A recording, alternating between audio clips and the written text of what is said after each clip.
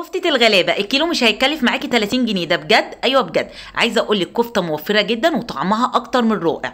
تعالي أقول لك معمولة من إيه وإزاي وليه سميتها كفتة الغلابة.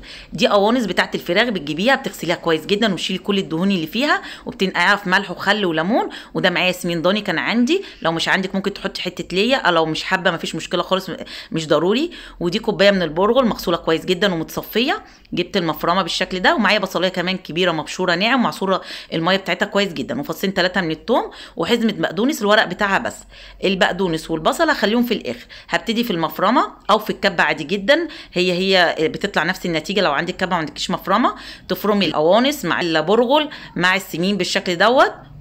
بعد ما بتخلصي الكمية كلها بتبتدي تنزلي بالبقدونس والبصل وملح وفلفل أسمر ومعلقة كبيرة من توابل الكفتة ومعلقتين كبار من النشا وبابريكا. وبتبتدي تعجني كله مع بعضه وبتحطيها في التلاجة شوية وبتطلعيها تصبعيها بالشكل ده.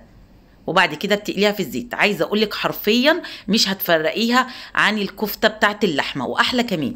ومش زفرة خالص جربوها على ضمانتي. بس انت أهم حاجة فرومي معاها التوم واغسليها كويس جدا وشيلي منها الدهون عشان ما تفكش منك. جربوها بجد وهتدعوا لي وهتتصدموا من النتيجة. أتمنى تعجبكم جربوها موفرة جدا وبجد كفتة الغلابه والسلام عليكم.